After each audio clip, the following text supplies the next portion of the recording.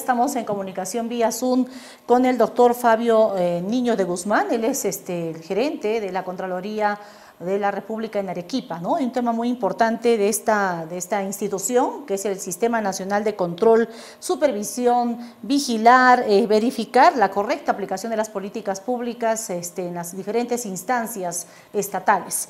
Ya está con nosotros, vamos a darle la bienvenida. Muy buenos días, doctor eh, Fabio Niño de Guzmán a TV Mundo, coméntenos, estamos ya prácticamente en este cuarto mes del año, ya prácticamente terminando el mes de abril, y sin embargo hay una serie todavía, tenemos problemas en temas de corrupción, en temas de procedimientos, en las diferentes instancias públicas, que precisamente es el papel de la Contraloría, pese que le han, digamos, recortado esa atribución que tenían antes de sancionar a malos funcionarios, ¿no? que esperemos, seguramente en el Congreso más adelante se verá la posibilidad de devolverles esa función, atribución. Muy buenos días, le escuchamos, este doctor eh, Fabio Niño de Guzmán, cómo va el balance en lo que va del año respecto al tema de la lucha contra la corrupción en la región Arequipa. Estimada Miluska, tenga usted muy buenos días y por intermedio suyo un saludo cordial a todos los televidentes de TV Mundo. Eh, bueno, eh, hemos empezado un nuevo año luego de haber cerrado el año 2020 con las dificultades que todos hemos tenido pero con una producción importante en informes de control, no solo cuantitativamente, sino también cualitativamente. Eh, hemos liderado entre las regiones del país eh, con un buen número de informes, estamos en el, en el pelotón de arriba y creo que nuestro trabajo ha tenido un impacto importante, no solamente en las auditorías de cumplimiento, sino también en los controles concurrentes, que son aquellos que permiten a las gestiones tomar decisiones mucho más correctas o corregir situaciones que no están yendo por buen camino o se están alejando del marco normativo. Y bueno, este año tenemos trazada una meta también importante. Eh, bueno, lamentablemente, como a todos, nos está perjudicando también esta segunda ola. Eh, lo más importante es cuidar la salud, pero bueno, eso hace que la recopilación de información en las entidades públicas no vaya al ritmo que nosotros pretendemos. Pero en concreto, por ejemplo, con relación al proceso de vacunación, nosotros estamos acreditados ante la Gerencia Regional de Salud a partir del día 9 de febrero eh, y estamos haciendo el seguimiento a la vacunación al sistema de salud, eh, al personal policial, militar, a los adultos mayores. Hasta el momento se ha vacunado a menos del 3% de la población arequipeña, es decir, tenemos todavía un techo del 97% y seguramente en el transcurso de este año y del siguiente, y yo diría de manera permanente, porque esto ya se está convirtiendo en una habitualidad en la vida, eh, tenemos que estar presentes institucionalmente para que eh, podamos identificar situaciones como por ejemplo las que hemos identificado en nuestro último informe.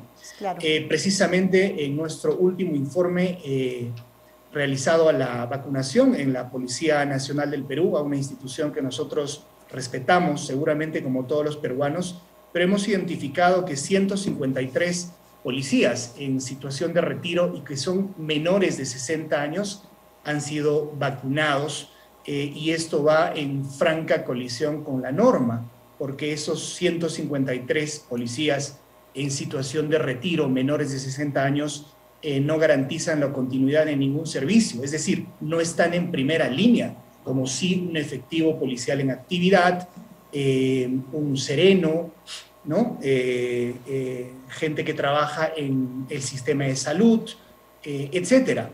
Entonces, esta es una situación que hemos identificado en el informe publicado el jueves de la semana pasada y que ha sido comunicado también al titular de la novena macroregión policial aquí en Arequipa. Claro, eh, y esto es muy importante precisar la norma, porque si bien es cierto, la vacunación este, se da para, digamos, este, personal de primera línea, médicos, policías, personas adultas mayores, pero eh, la norma establece, porque ha habido también algunas observaciones respecto de que eh, algunos familiares eh, de los policías también habían recibido la vacunación. La norma establece que también los familiares tienen que vacunarse, eh, doctor eh, Fabio Niño Guzmán. no, no, Milusca. En realidad la norma, que es el Plan Nacional de Vacunación, lo que establece es fase 1, proteger a quienes integran el sistema de salud. Es decir, protejamos a nuestros médicos, licenciados en enfermería, técnicos en enfermería y personal que trabaja en el sistema de salud, tenga el contrato que tenga. Esto nos permite garantizar el sistema. Segundo, al adulto mayor, naturalmente habrá pues un orden de preferencia a los más vulnerables que tengan mayor edad y vamos bajando hasta los que puedan estar en el umbral de los 60 años. Y finalmente, quienes garantizan la continuidad de los servicios básicos, policía, Fuerzas Armadas, serenos, bomberos, Cruz Roja, estudiantes inclusive de salud, de acuerdo a la última modificación que se ha hecho al plan. Pero en ningún momento, fíjese usted, podría encajar la figura de un retirado. Y lo que es peor, menor de 60 años. Y lo que es aún mucho peor, personal que ha sido sancionado y que ha sido dado de baja en su oportunidad, que tiene 38, 40, 42 años, 45, y que ha sido premiado con esta vacuna irregular o derecho a vientes, como se conoce, eh, es decir, a los familiares de integrantes de la, de la Policía Nacional del Perú, que tampoco están contemplados en la norma y, si usted me permite, tampoco bajo ningún principio de integridad eh, o de principio ético. No tiene ninguna razonabilidad que personas que no están en primera línea tengan que ser vacunadas cuando, repito, solamente el 2% de la población de adulto mayor, por ejemplo, en Arequipa, que tiene un horizonte de 150 mil eh, adultos mayores civiles, solamente han sido vacunados poquísimos, menos del 2%.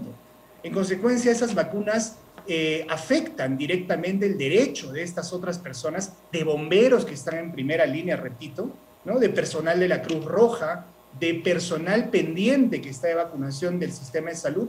Y entonces es una situación que no guarda ningún tipo de, Claro, entonces se ha incurrido, se ha incurrido, digamos, en una falta, una falta, este, porque no se ha cumplido la norma y se habrían beneficiado irregularmente este, este personal policial eh, menor de 60 años, en número de 153.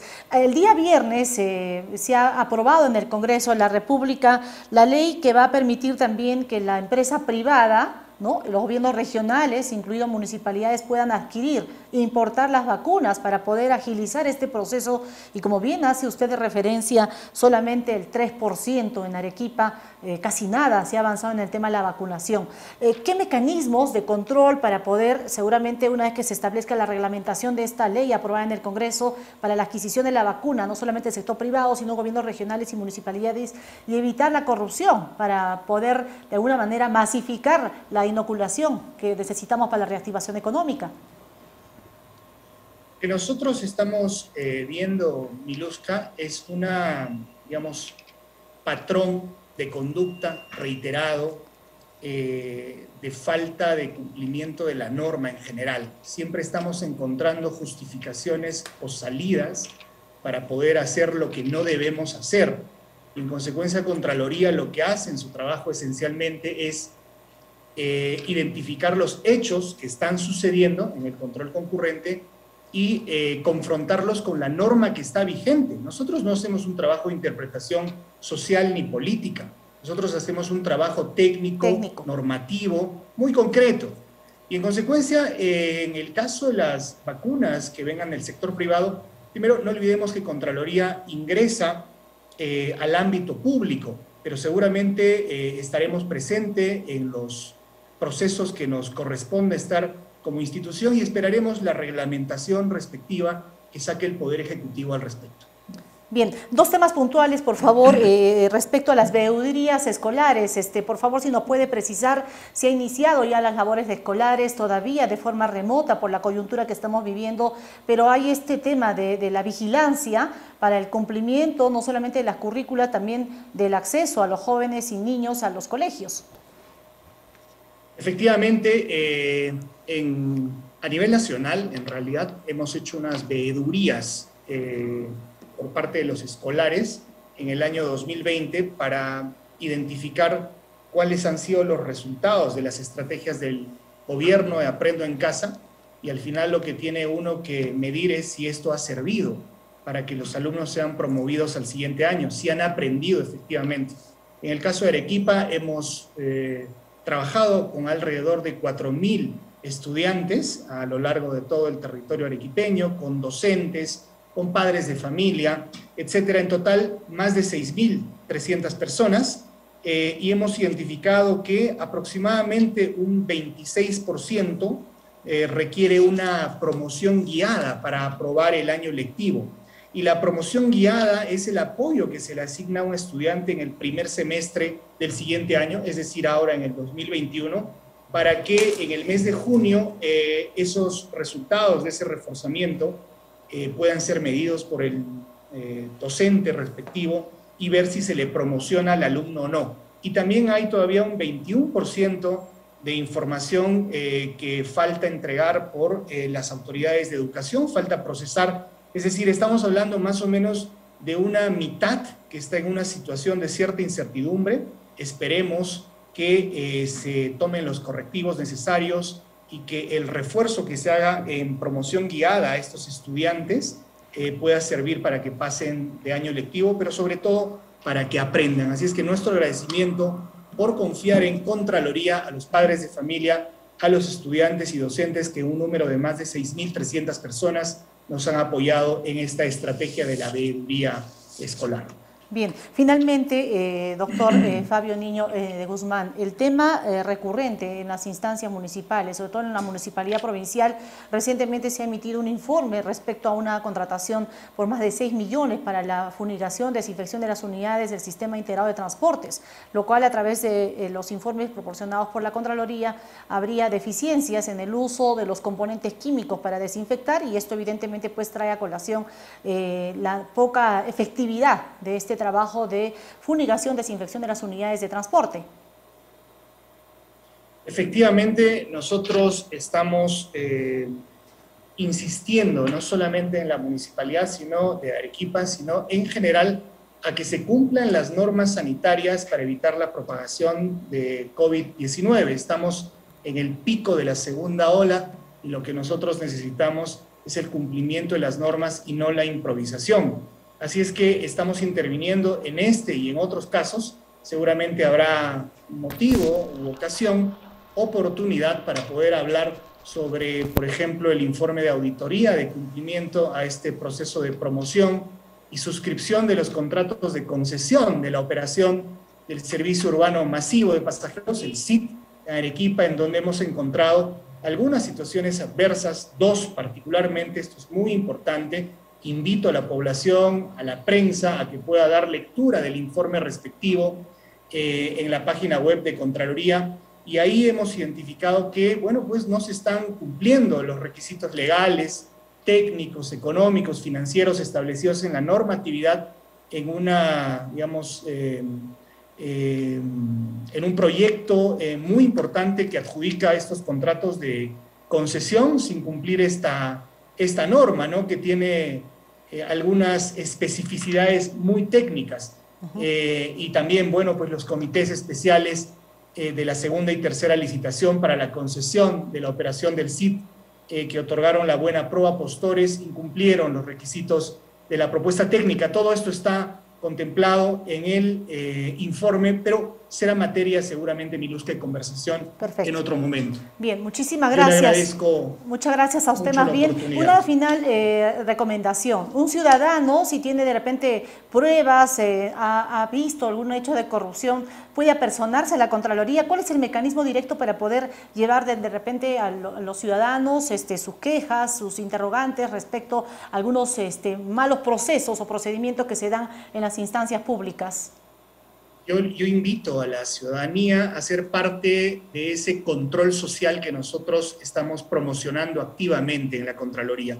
No solamente es el control interno, el control externo, sino también el control social, es decir, la participación ciudadana la que nos permite tomar conocimiento de determinados temas. Yo los invito en estos tiempos en los que se utiliza permanentemente eh, el acceso a Internet, entrar a nuestra página web de Contraloría Ahí están muy claramente, de una manera amigable, eh, los botones que uno puede eh, presionar para hacer las denuncias que estimen correspondiente en nuestros canales de acceso ciudadano y también los teléfonos a nivel nacional y aquí en Arequipa. Así es que esperamos mucho su participación.